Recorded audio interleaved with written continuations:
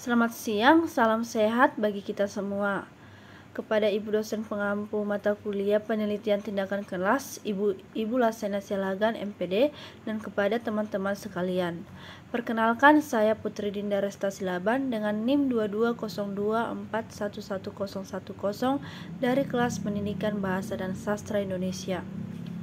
Uh, di sini saya akan mempresentasikan laporan penelitian tindakan yang telah saya unduh yang berjudul Penggunaan Metode Diskusi untuk Meningkatkan Hasil Belajar IPA pada Siswa Kelas 4 SD Negeri Sambi tahun pelajaran 2009-2010 yang disusun oleh Kunang Gayatri. Uh, adapun isi dari laporan eh, penelitian penelitian tindakan kelas tersebut yaitu yang pertama eh, apa yang dilakukan si peneliti sehingga dia merumuskan laporan penelitian tindakan kelas tersebut. Eh, yang saya baca dan yang saya pahami si peneliti tersebut melihat hasil dari belajar IPA siswa kelas 4 SD Negeri Sambi dalam memahami konsep bagian-bagian akar e, tumbuhan masih rendah dan ada juga beberapa nilai dari siswa masih rendah tidak memenuhi e, KKM sewajarnya. Hasil ini disebabkan e, oleh beberapa faktor. Si peneliti menuliskan hambatan dapat dari e, guru dan siswa. Hambatan siswa lain guru menggunakan metodenya metodenya masih secara monoton monoton di sini uh, disebutkan bahwa guru sering mengajar dengan metode ceramah dan begitu-begitu saja sehingga muridnya kurang mengerti dan kurang dalam proses pembelajaran. Uh, dan guru pun kurang memahami metode pembelajaran yang sesuai dengan materi pembelajaran. Sebagai guru hendaknya pandai dalam dalam memilih metode teknik maupun model pembelajaran sehingga model pembelajaran berlangsung dengan aktif, kreatif, efektif dan menyenangkan.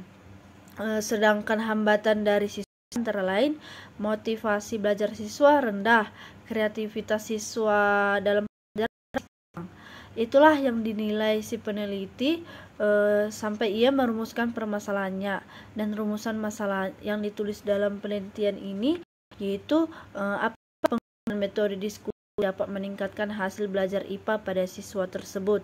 Uh, untuk meningkatkan kompetensi siswa dalam memahami bagian-bagian dan fungsinya, perlu menggunakan metode diskusi. Dengan menggunakan metode diskusi, kemampuan siswa dalam memahami konsep bagian-bagian akar uh, dan fungsinya diharapkan dapat meningkat. Oleh karena itu, uh, penelitian tersebut, si peneliti memiliki tujuan untuk memberikan sumber dan pemikiran tentang bagaimana metode diskusi digunakan pembelajaran bagian akar dan fungsinya. Selain, selain itu juga untuk mengetahui adanya peningkatan prestasi siswa dalam mata pelajaran IPA, dengan demikian untuk memperoleh hasil belajar yang lebih berkualitas, maka perlu menggunakan metode diskusi dalam bagian-bagian uh, bagian-bagian akar dan fungsinya. Uh, selanjutnya yaitu analisis uh, kecerdasan si peneliti dalam memilih teori. Uh, dalam laporan penelitian tindakan kelas ini, uh, teorinya sudah uh, apakah teori tersebut lepas topik kesalahan penelitian dan apa teori tersebut mutakhir. Uh, dapat saya pahami dari teori yang di yang terdapat dalam bab 2 ini yaitu si peneliti memaparkan beberapa teori yaitu yang pertama uh, pengertian hasil belajar. Kedua yaitu faktor-faktor yang mempengaruhi hasil belajar. Ketiga jenis-jenis belajar. Yang keempat pengertian metode diskusi. Yang kelima hakikat ilmu pengetahuan alam Menurut saya, teori yang sudah dipaparkan oleh si peneliti sudah sangat relevan dengan topik permasalahan yang dibahas dalam laporan penelitian tindakan tersebut, di mana uh, si peneliti sudah menjelaskan secara rinci teori yang berkaitan dengan judul dan sesuai dengan permasalahan yang dibahas dalam laporan penelitian tindakan tersebut. Uh, referensi dan referensi dari teori yang dipaparkan oleh si peneliti yaitu uh, Din Wahyudin tahun 2007 yang berjudul Pengantar Pendidikan Jakarta Universitas Terbuka. Buku yang kedua yaitu Hera yang Hera Karsa 2007 Pendidikan Anak di Jakarta Universitas Terbuka. Buku yang ketiga yaitu yang berjudul Pemantapan Kemampuan Profesional Jakarta Universitas Terbuka tahun 2008 yang buku uh, yaitu selanjutnya referensi selanjutnya yaitu Kamus Besar Bahasa Indonesia tahun 1995 Jakarta Balai Pustaka. Hmm, buku selanjutnya yaitu pengembangan pembelajaran IPA di SD Jakarta. Uh, buku selanjutnya yaitu uh, Ngalim Purwanto tahun 1990 Psikologi Pendidikan Jakarta Departemen Pendidikan dan Kebudayaan. Uh, referensi selanjutnya itu uh, buku Strategi Pembelajaran Sri Anita Jakarta Universitas Terbuka. Uh, dan istilah pengumpulan data apa yang digunakan oleh si peneliti dalam laporan PT, eh, laporan penelitian tindakan kelasnya. Yang saya baca dan pahami teknik pengumpulan data yang digunakan oleh si peneliti tersebut adalah teknik pengumpulan data yang pertama yaitu teknik pengumpulan data observasi dilakukan oleh guru atau peneliti pembelajaran berlangsung dengan bantuan teman sejawat. Yang kedua yaitu wawancara dilakukan oleh guru atau peneliti selama pembelajaran berlangsung dilakukan oleh guru dengan teman sejawat setelah selesai pembelajaran. Yang ketiga yaitu dokumen diperoleh guru uh, diperoleh guru atau peneliti dari lembar kerja siswa, lembar pengamatan, portofolio, dan daftar nilai harian. Yang selanjutnya yaitu teknik pengumpulan data melalui tes dibuat oleh guru atau peneliti seperti uh, latihan soal. Dan selanjutnya instrumen yang digunakan oleh si peneliti dalam laporan penelitian tindakan tersebut adalah uh, yang pertama yaitu terdiri uh, sumber terdiri dari guru dan siswa kelas uh, siswa kelas 4 SD Negeri Sambi uh, Kecamatan Sambirejo Kabupaten Sargan. Yang kedua yaitu arsip dan dokumen hasil belajar siswa. Yang ketiga yaitu hasil pengamatan pelaksanaan pembelajaran. Yang keempat yaitu tes hasil belajar. Uh, selanjutnya yaitu indikator kinerja untuk mengetahui keberhasilan penelitian tindakan kelas ini, penulis menggunakan uh, indikator kerja. Yang pertama yaitu rata-rata nilai tes hasil uh, siswa pada konsep bagian akar dan fungsinya atas KM yaitu 65. Yang kedua yaitu siswa yang di atas KKM minimal 75%.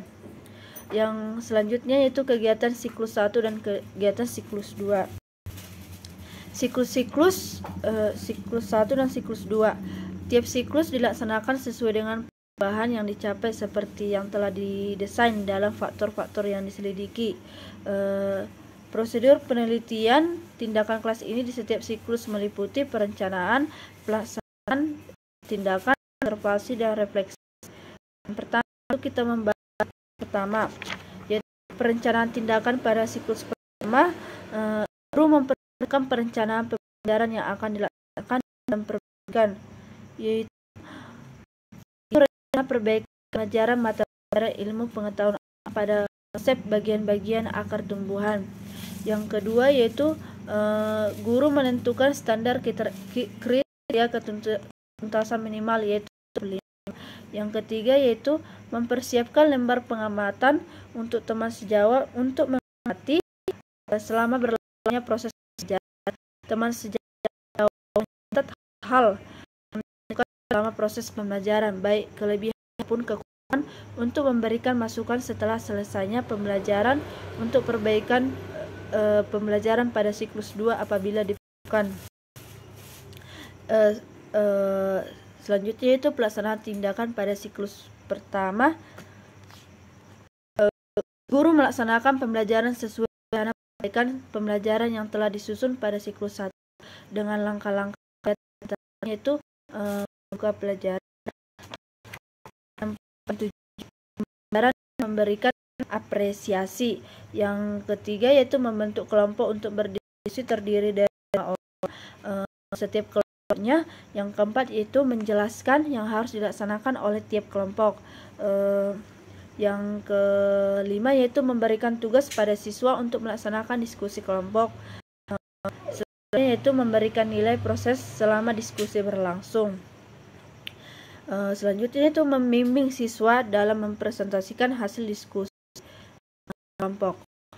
Uh, selanjutnya itu membantu siswa menyimpulkan hasil diskusi kelompok tersebut. Uh, selanjutnya itu memberikan kesimpulan terhadap hasil hasil diskusi kelompok tersebut, uh, membuat kesimpulan bersama-sama dengan siswa. Selanjutnya itu yaitu guru atau peneliti menutup pelajaran tersebut. Uh, yang ketiga yaitu observasi uh, observasi uh, memiliki bagian-bagian dan itu wawancara. Menurut uh, Glue tahun 1989 Wardani 27 halaman halaman 29 mengatakan bahwa wawancara uh, adalah teknik pengumpulan informasi atau data yang dilakukan melalui pengajuan pertanyaan secara langsung. Cara yang digunakan pada pengamatan ini menggunakan gambar pengamatan acuan acuan yang ditentukan oleh guru untuk mengetahui kelebihan dan kekurangan yang terjadi selama proses pembelajaran. Pada akhir pembelajaran, guru mengadakan wawancara dengan format untuk mengetahui hasil pembelajaran.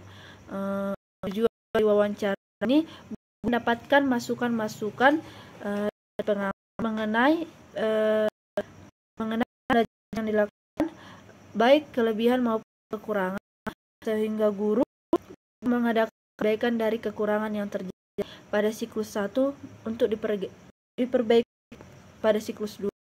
Selanjutnya itu studi dokumenter.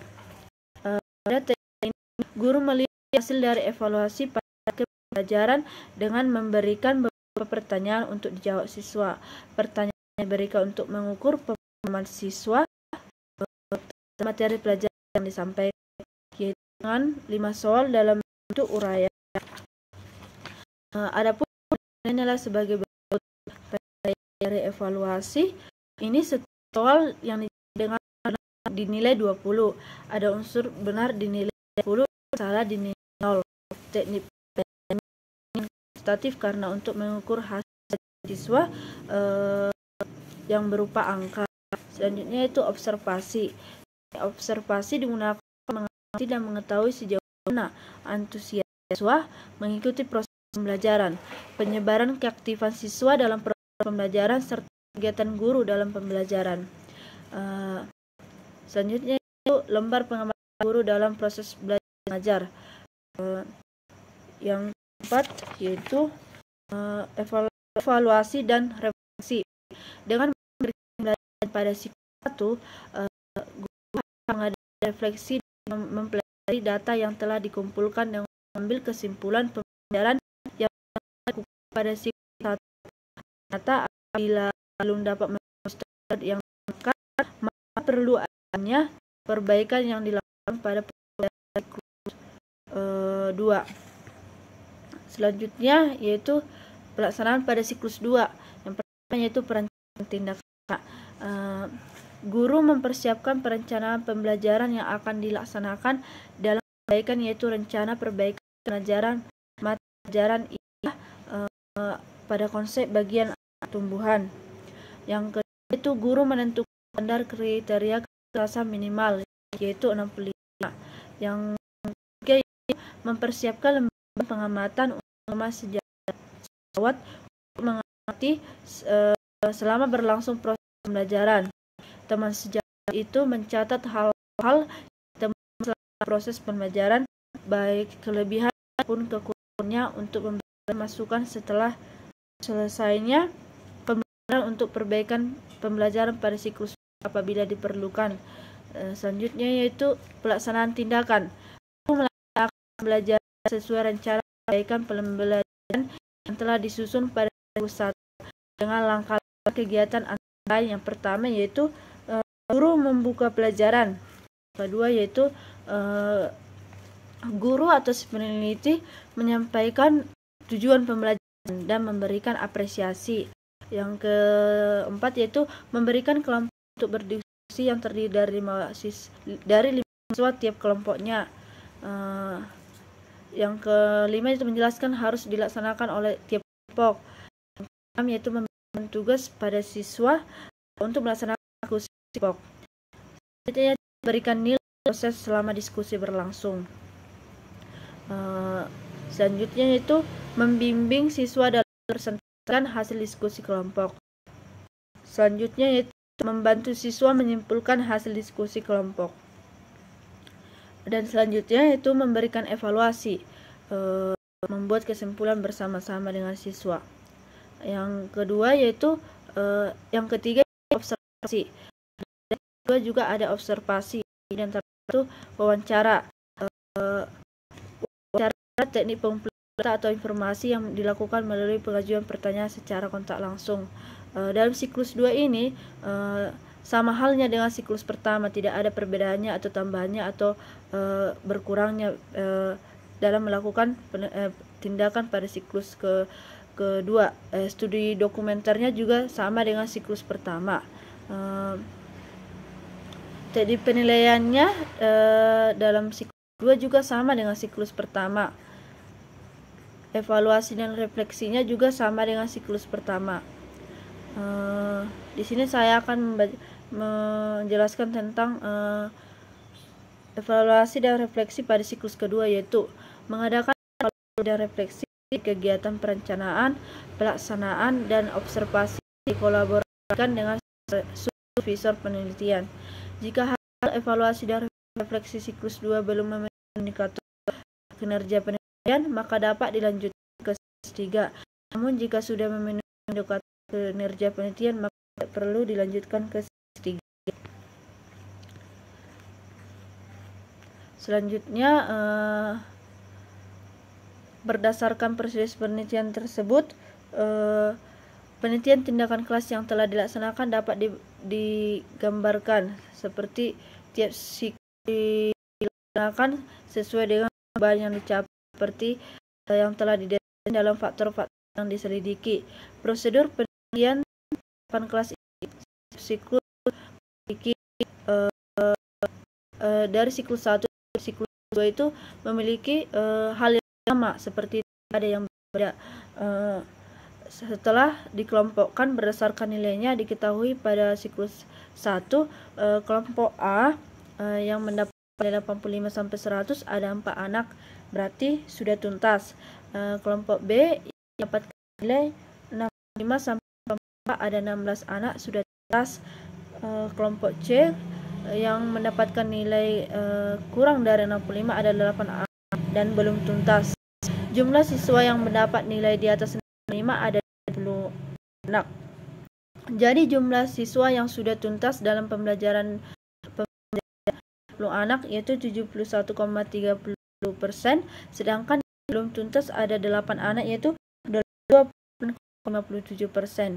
Uh, pada penelitian tindakan siklus telah dilaksanakan dengan langkah-langkah ditempuh uh, hampir sama dengan langkah pada siklus pertama. Uh, uh, perencanaannya rencana siklus 2 didasari oleh hasil refleksi siklus 1 sehingga kekurangannya dan kelemahan pada siklus 1 tidak terjadi pada siklus kedua.